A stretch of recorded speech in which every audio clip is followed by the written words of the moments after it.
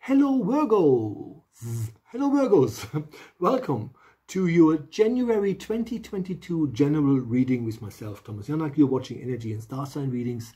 And um, please like, subscribe, and share. And if you like my work, you can buy me a coffee on buymeacoffee.com forward slash medium Thomas. That's buymeacoffee.com forward slash medium Thomas. So what we will do here, we will divide the video slightly in, in sections or in areas so it is easier for you to understand it. Um, so what we will do is we will look at the overall energy for the month of January 2022 for the star sign of Virgo. Uh, before we then go into um, your emotional core, so we will look at your emotions. Um, that could be trauma that needs to go. This could be love that needs to be rekindled, or uh, maybe even love coming in. Um, and then lastly, we will go and look at opportunities as they present themselves to you in the months of in the months of January. And opportunities, for the most part, in this sense here, um, have to do with whatever it is that sustains you financially. And so we're looking at what can be tweaked there. Now, before we do all of this, just remember, this is January 2022. And on the 2nd of January, there is a new moon, which means if you ever wanted to manifest new beginnings, this is your chance. Because it happens right on the, on, on the 2nd of January, right in the beginning, at the beginning of the new year. So anything you want to, to you want to um, manifest, has a much better chance of achieving and of creating itself um, in a way because of the new moon. Now the new moon is obviously a, a, um, a, moon that is not illuminated, there's no light, and then it takes from the new moon, the no light moon, to the full moon, the full light moon, um, uh, two weeks.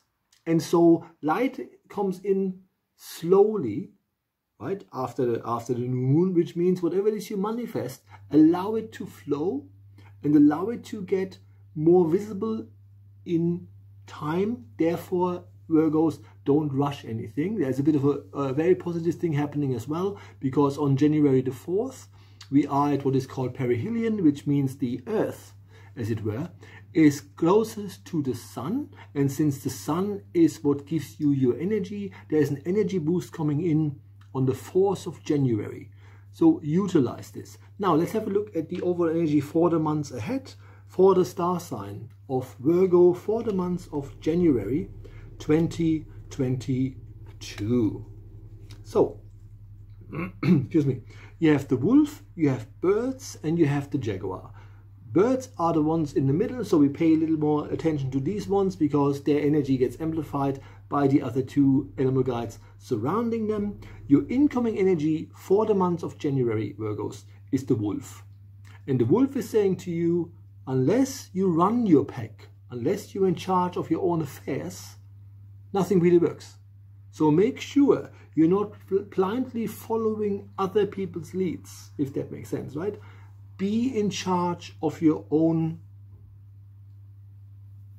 almost like I, I, sort of hear like uh, of your own creations which then obviously suggests that in order for you to create new things um, you have to first maybe free yourself from whatever shackles there are that hold you back right because your middle animal guides are birds plural and that means detach yourself a little see things from a higher point of view right? So you can figure out um, where am I going in life? Where am I in life? And whatever I now see that can be assessed because I detach myself a little, um, how much sense does that make to my well-being to be in the in these situations? So that's really important. And then the outgoing energy, energy uh, for your overall energy, dear Virgos, is the Jaguar. And the jaguar is an animal that is that describes wholeness, right? So the main thing for you to realize is, is that you're not only enough the way you are, but that you're great the way you are. But you have to say it to yourself because the jaguar is an animal that has unique dots. And so therefore, um, it is not a hindrance or problem to not necessarily, you know, gel with, with, with, with the masses, right? So that's your overall energy for the months ahead. And um, so this is January 2022. We're looking at the star sign of Virgo, and now we're looking at your emotional core. You hear all these noises in the background. It's just my cat playing. Um, and I'm not going to tell him off just because I'm doing a reading, right? It's not going to be that loud. so with regards to anything to do with your emotions, you have the sparrow hawk, the turtle and the red-headed woodpecker. How this works is you have two animals, literally, um, that tell you that no matter what life throws at you, you will be fine, right? So you have the hawk. The hawk says, I'm using the upthrust of the air to glide. So go with the flow really important. And you, you had the message of going with the flow already in your overall energy so that seems to be uh, an important thing for Virgos to actually understand right? So the hawk is saying I'm using the upthrust of the air to glide right? And the gliding which means not wasting energy um, but observe, observing um, the world is what gives you clarity. And then the the animal in the middle is the turtle and again, that literally means with regards to love, because that's the topic I'm getting here, with regards to love, nothing can be rushed. If it doesn't feel right, it probably isn't. Right? If things need to be tweaked too much, it probably isn't worth it.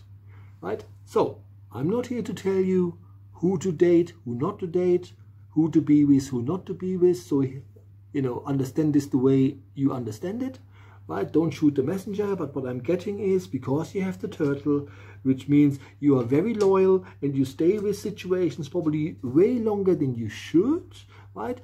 The people that you love have to deserve you first. Simples. And then the outgoing energy is the red-headed woodpecker.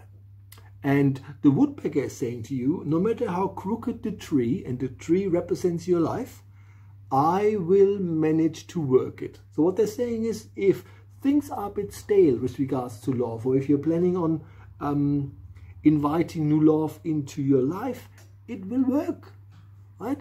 Things will work.